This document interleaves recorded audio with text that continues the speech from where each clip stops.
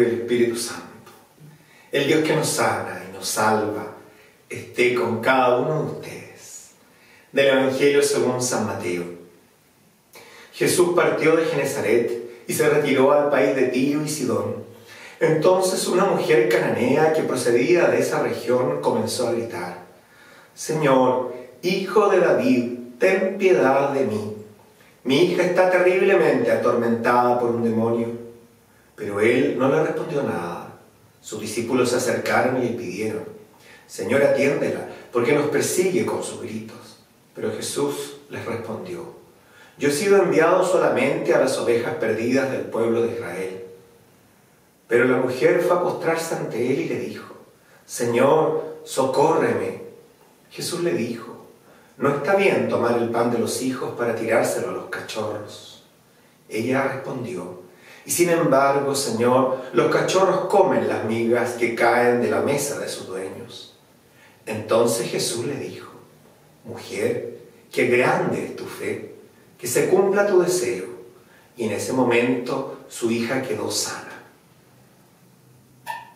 La insistencia de la fe, la súplica que no se cansa de rogar, la creatividad, la audacia y sobre todo digo la perseverancia, que en evidencia en los rasgos tan concretos que muestra esta extranjera, una mujer cananea que va a interceder ante Jesús por su hija.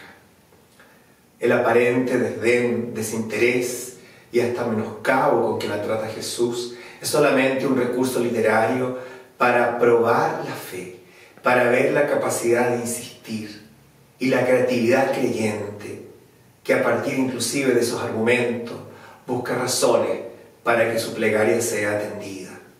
Pidamos también nosotros que podamos cultivar una fe tan sólida y tan persistente que el Señor pueda decir de nosotros, como sin duda lo dice de la Virgen María, como sin duda lo dice hoy día de un modo especial del santo cura de Ars, San Juan María Vianney, como sin duda lo quiere decir de cada uno de nosotros, qué grande es tu fe.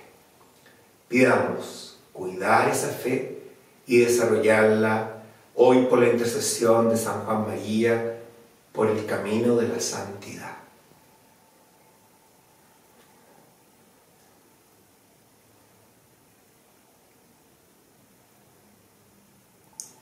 Creo, Jesús mío, que estás real y verdaderamente en el cielo y en el santísimo sacramento del altar.